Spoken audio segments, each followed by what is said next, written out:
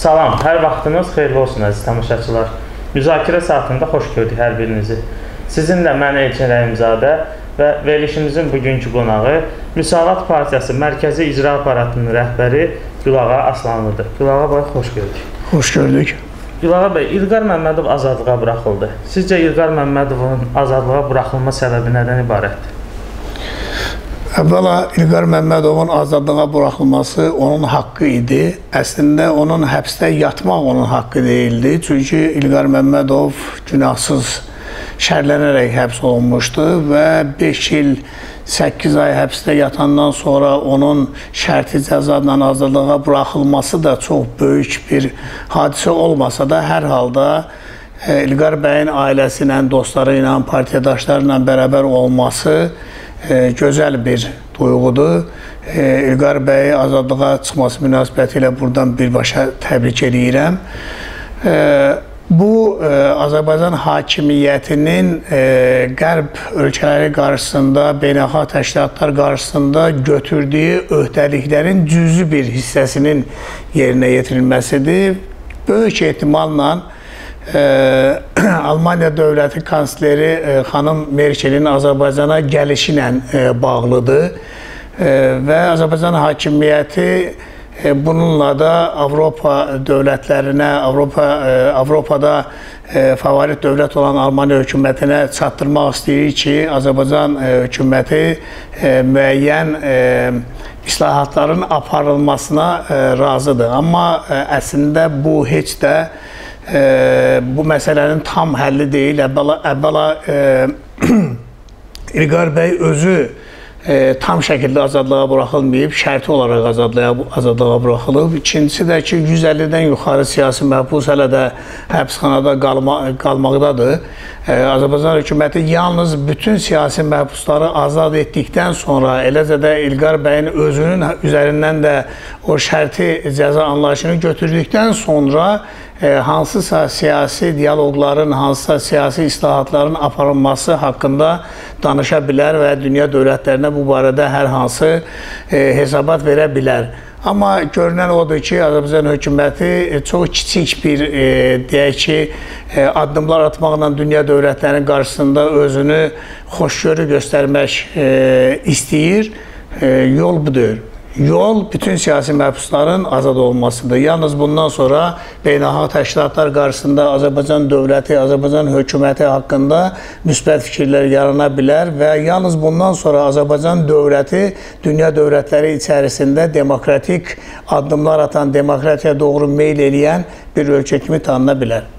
Sizcə Angela Merkel Azərbaycana nəyə görə gəlir? Siyasi məhbusların azadlığa buraxılması gündəmdədirmi? Məncə e, tək onunla bağlı ola bilməz. E, ümumiyyətlə dünya e, tarixində, dünya siyasətində Alman dövlətinin kifayət qədər e, bir yeri var, kifayət qədər bir rolu var və e, Merkelin Azərbaycana gəlişi e, məncə e, Azərbaycan Azərbaycanın başqa e, istiqamətə yönəlmək istəklərinin qarşısını almaq E, kimi də e, dəyərləndirilə bilər. Belə ki, Almaniya hökuməti məncə Azərbaycan hökumətinin Rusiyaya tam şəkildə Rusiya meyilli, meyilli olmasının qarşısını almaq məqsədi də güdə bilər bu məsələdə. Həm də e, bu yanacaq enerji daşıyıcıları məsələsində də Azərbaycanın Avropa ilə elə müəyyən əlaqələrinin olması e, məncə e, Merkelin Azərbaycana gəlməsini stimullaşdıran bir e, haldır. E, eyni zamanda e, bu gəlişin və məqsədlərindən biri də Biri də məhz siyasi məhbusların azad olunması istəyi ola bilər. İndi Azərbaycan hökuməti buna necə baxacaq, necə reaksiya verəcək, e, onu indidən söyləmək çətindir, amma hər halda müəyyən gözləntilər var. Məsələn, ayın 24-də e, bir gözləntimiz var. E, hələ onu mən səsləndirmək istəmirəm, amma o, o həmən vaxtı, həmən gün, həmən gözlənti olarsa, yenə də bir mülayimliyin olması gözlənilə bilər. Amma yenə də bir daha onu e, təkrar edirəm ki, tək-tək siyasi məhbusları buraxmaqla, azad eləməklə bu problemi həll eləmək e, illərlə çəkə bilər ki, bu da dünya dövlətlərində Azərbaycan dövlətinə e, bir inam yarada bilməz. və burada e, operativ, təcili və birbaşa addımlar atılmalıdır ki, onun da başında siyasi məhbusların tam şəkildə azad olunması, ondan sonra siyasi və iqtisadi islahatlara başlanmasıdır. Yəni Azərbaycanda kifayət qədər problem var. Amma elə problemləri yaradırlar ki, həmən problemlər yaddan çıxsın. Məsələn, azad seçki, və e, iqtisadi islahatlar Azərbaycan üçün çox vacibdir, amma Azərbaycan hökuməti bunların heç birini eləmir və heç birini həyata keçirmir və e, son zamanlarda qiymətlərin artırılması ilə baş, bir e, deyə fəaliyyətə başlayıblar ki, bu da e, Azərbaycan hökumətinin Azərbaycan xalqını düşünməsi kimi anlaşıla bilməz. Gülağa bəy, Müsavat Partiyası və Real Partiyası birgə əməkdaşlığa hazırdırmı? Müsavat Partiyasından Real e, Partiyası hələ Real Partiya olmamışdan əvvəl də e, bəzi məsələlərdə e, bir yerdə olma haqqında müəyyən e, sazişləri olub, müəyyən e, deyə razılaşmaları olub. Xüsusən seçki məsələsində, seçki qanun e, təkmilləşdirilməsi məsələsində e, müəyyən e, birgə sənədlərin imzalanması təşəbbüsləri olub və e, indi də Müsavat Partiyası Real Partiyasından Real Partiyası ilə hər e, Azərbaycan üçün e, vacib olan məsələlərdə birgə e, müzakirələr aparmağa hazırdır və e, funksional əməkdaşlıq eləməyə hazırdır və bunun üçün meydan açıqdır və biz e, vaxtı ilə real təşkilatına da öz təkliflərimizi vermişik. Həmən təkliflərimiz yenə də qüvvədədir və e, görüşüb, ələşib həmən təklifləri cilalamaq da olar, orada müəyyən dəyişikliklər eləmək də olar, qarşılıqlı razılıq əsasında. Yəni e, Azərbaycanın Azərbaycanda sivil cəmiyyətin yaranması, demokratik cəmiyyətin yaranması istiqamətində real təşkilatı ilə birgə addımlanmaqda bizim Müsavat Partiyasının heç bir problemi yoxdur. Bu yaxında xaricdə yaşayan müsavatçılar Müsavat AKM aksiya keçirdi. 22 avqustda isə xaricdə yaşayan fəallar fəal mühacirlər aksiya edəcəklər. Nəyə görə Müsavat AKM və xaricdəki fəallar bu aksiyanı birgə keçirmədilər? Əvvəla ə, e, xaricdəki təşkilatların ə, e, aksiyalar keçirmək haqqında qərarları olub müstəqil qəbul edirlər və ə, e, o müstəqil qərarı qəbul eləyərkən ə, niyə birinin ayının ə, deyək ki, 18-də, digərinin isə 22-sində tədbir keçirilməsi haqqında qərar verməsi məsələsini mən şərh edə bilmərəm. Bu onların öz daxili məsələləridir. Amma ə, əgər AKM ə, deyək ki, Müsavat AKM birinci elan eləmişdirsə, digərlərinin də onunla bərabər e, tədbir keçirilməsi bəlkə də daha məqsədə uyğun olardı, amma yenə də e, oradakı təşkilatlar buna qərar verirlər. E, Müsavat e, Avropa Koordinasiya Mərkəzi e, birinci dəfə deyil belə tədbir keçirir. Onlar Azərbaycanda olan hər hansı bir e, deyək ki, məsələ ilə bağlı e, öz etiraz aksiyalarını müxtəlif Avropanın müxtəlif ölkələrində, Almaniyada, Strasburqda keçiriblər bundan əvvəl də, yenə də keçirirlər. Və bu son tədbir isə onların mətbuatda yaydığı məlumatdan da məlum olur ki, onlar Almaniya E, dövlətinin kansleri xanım Merkelin qarşısında İlham Əliyevlə görüşdükdə e, bəzi məsələləri e, diqqətə eyni zamanda Rusiya prezidenti Putinlə də görüşdükdə müəyyən məsələləri onun qarşısında qaldırmağı tələb eləyən bir deyək ki,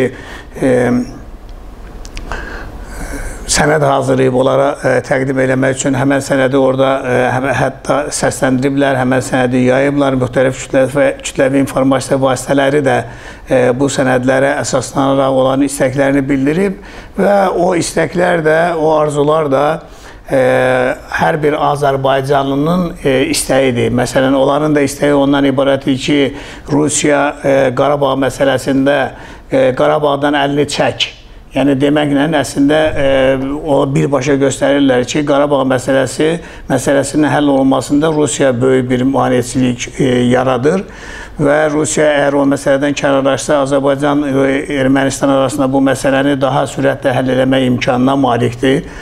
E, digər tərəfdən də e, Rusiyadan Azərbaycana müəyyən baskılar var, müəyyən təzyiqlər var. O təzyiqlər həm də Azərbaycanın Avropa Avrasiya İttifaqına daxil olması ilə bağlı, e, birgə müdafiə sisteminin qurulması ilə bağlıdır ki, e, bu bunların heç biri Azərbaycanın mənafeyinə uyğun deyil.